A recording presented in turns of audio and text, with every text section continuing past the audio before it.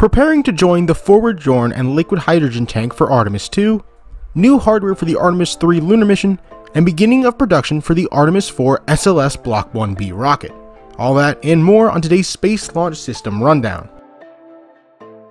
In January of 2022, engineers at NASA's Michoud Assembly Facility took a completed forward join for the Artemis 2 SLS rocket and moved it into position for final assembly, where it is soon to be mated with the soon to be finished liquid hydrogen tank.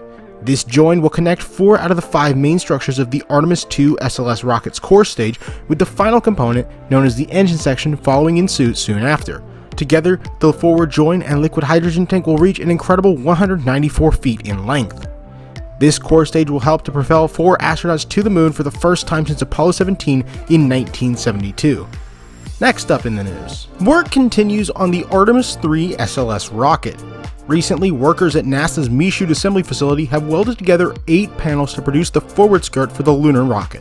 When finished, the forward skirt will house all avionics for the mission to the moon, as well as serve as an attachment point for the interstage that sits on top of it. Work is also well underway at the Marshall Space Flight Center, where the launch vehicle stage adapter, as well as the Orion stage adapter for the Artemis 3 rocket, are also being produced.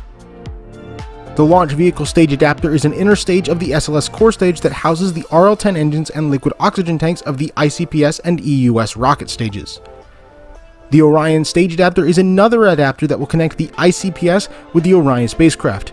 This will be the final OSA built and will be replaced on Artemis 4 by the much larger Universal Stage Adapter, or USA. Artemis 3 is scheduled to launch in 2025 and will be the first crewed mission to land on the moon since the Apollo era. Engineers at the Michoud Assembly Facility are also progressing steadily on the first ever flight of the SLS Block 1B rocket. The SLS Block 1B is the uprated version of NASA's mega rocket that will be larger and more powerful than their old Saturn V of the Apollo program.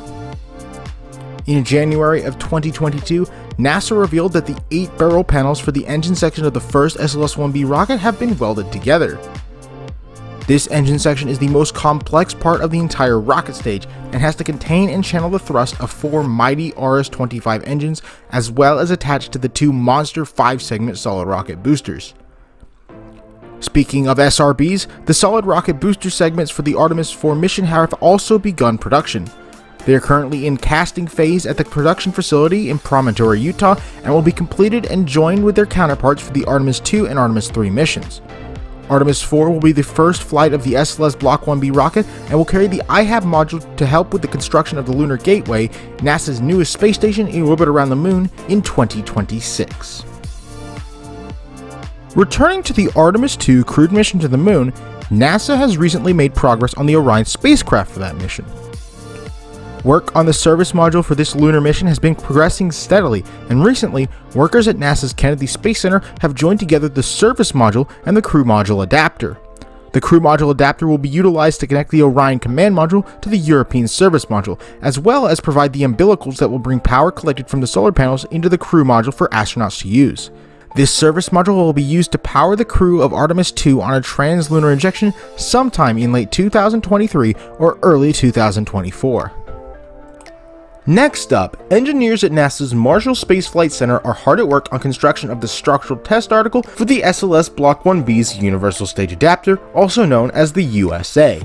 The USA is a massive 27.6 foot wide adapter designed to connect the 5.5 meter Orion spacecraft to the 8.4 meter wide Exploration upper stage. This adapter will serve the same purpose as the payload bay of the Space Shuttle and the SLA on the Saturn 1B and Saturn V rockets, housing modules for NASA's up-and-coming Lunar Gateway space station during the launch to the moon. After the launch, the USA will be jettisoned and the Orion spacecraft will extract the module in the same way that the Apollo spacecraft would extract the lunar module from the S4B stage of the Saturn V. This first USA is not flight rated, but rather will be used for testing purposes in order to validate the design of the adapter for missions to the moon. The first flight of the USA will be on the Artemis 4 mission to the moon in 2026.